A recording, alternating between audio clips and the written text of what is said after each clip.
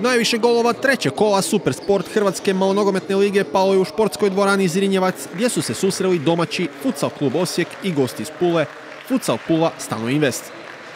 Alvaro Martinez poslao je na parket Gozija, Danijela Moravca, Blaskeza, Echavariju te Grila, dok se Saša Voldin odlučio za već provjerenu kombinaciju koja igra sjajno s Rončevićem na vratima, kapetanom Šalajem, a tu su još bili i Mijić, najbolji strijelac Lige Petrušić, te Luis Eduardo de Lima.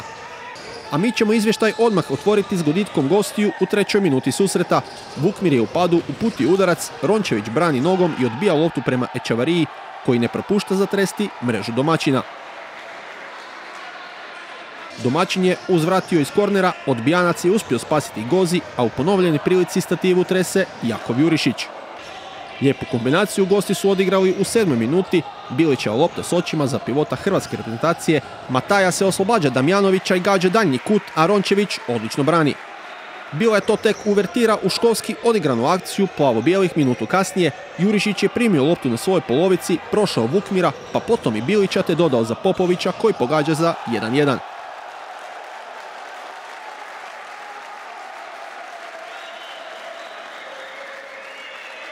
Osijek je blizu novog pogotka bio nakon greške gostujuće obrane, koja loptu predaje Damjanoviću, a gol spašava ovo sezonsko pojačanje na vratima Futsal Pule. No i domaćin ima svog aduta na vratima, Rončević je iz neposredne blizine obranio udarac hrvatskom reprezentativcu Niki Vukmiru i tako do poluvremena sačuvao svoju mrežu. Treba istaknuti i kako je spomenuti vratar upisao još nekoliko odličnih obrana, pokušao je tako njegov kolega s druge strane i Vitor Renoldi sa desetak metara, ali i Niko Vukmiru bliži kut, svaki put Rončević je izašao kao pobjednik. Drugi dio treneri su potpuno otvorili karte i krenuli vrlo ofanzivno, a mi već u prvom napadu pišemo fantastičnu obranu osjećog vratara kojeg nije uspio matirati Ečavarija. Ipak koncentracija domaćih igrača popustila u 26. minuti, David Mataja zavukao se između dva osječka i pogodio nakon dodavanja iz kornera za 1 naprema 2.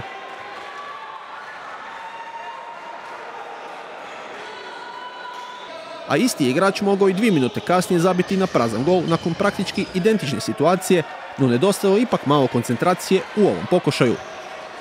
No zato može zabiti Manolo Bilić dalekometnom bombom, ništa se tu ne može zamjeriti domaćem vrataru.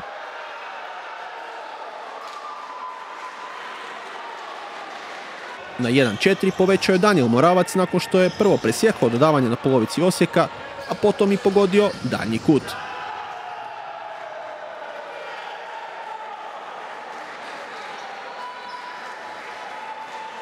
Igrači Saše Voldina krenuli su na sve ili ništa, a to se isplatilo minutu kasnije.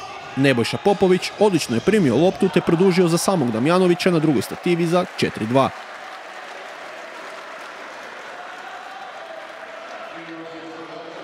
Krenuo je domaći strateg potom i s igračem više u polju, strpljivih pet minuta pleva se mreža oko gostujućeg gola, a rezultatski povratak u utakmicu omogućuje dvojac Damjanović i Eduardo de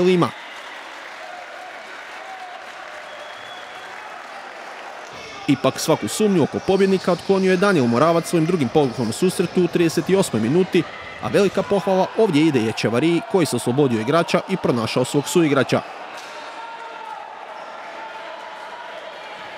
Ovom je pobjedom Fuca Pula skočila na četvrto mjesto tablice i sada ima šest bodova, odnosno dva više od petoplasiranog Vrgorca s kojima igra sljedeći susret. Osijek je na šestoj poziciji tablice, a hoće li tako i ostati vidjet ćemo nakon iduće utakmice protiv Futsal Dinama u Zagrebu.